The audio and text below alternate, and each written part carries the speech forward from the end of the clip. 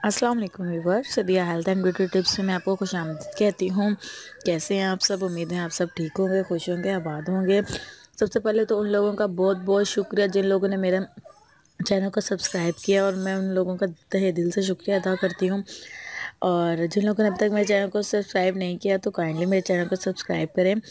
और आज जो मैं आप लोगों के लिए वीडियो लेकर आई हूँ वो उन लोगों के लिए है जो बहुत ज़्यादा पतले हैं, बहुत ज़्यादा स्मार्ट हैं।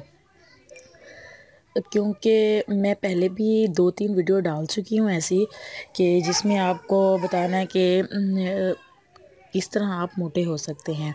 तो आज भी मैं आप लोगों के लिए ये वीडियो लेकर आई हूँ जो इजी है, आसान है। जैसे कि आपको पता है कि केला जो है हर मौसम में होता है।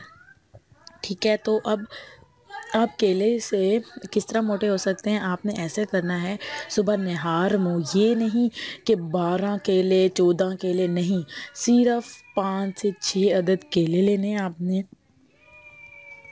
और आ, केले के साथ आपने एक गिलास नीम गर्म दूध का लेना है ठीक है? दूध के अंदर आप जितनी भी चीनी यूज़ करते हैं वो थोड़ी बहुत वो आपने ऐड करनी है। उसके बाद आपने वो जो चार, पाँच से छः केले हैं। वो आपने सुबह निहार, मुँह खाने हैं, साथ में दूध का एक गिलास पीना है।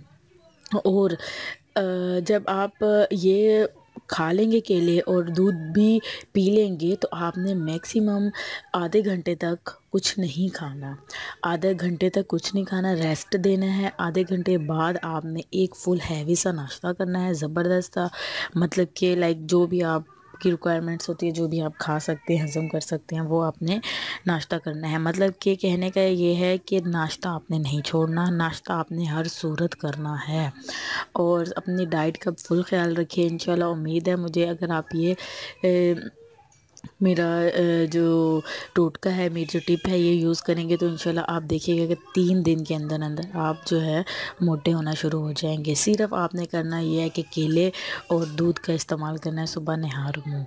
इंशाल्लाह उम्मीद है मुझे आप लोगों को ज़रूर ज़रूर ज़रूर फ़र्क आएगा। वो मेरी बहनें, वो मेरे भाई जो परेशान हैं अपने दुबलेपन से तो वो इन तीन दिन के अंदर अंदर अपने आप में फ़र्क फील करेंगे इन दुआ में याद रखिएगा। इन फिर मुलाकात होगी। एंड अल्लाह हाफिज़।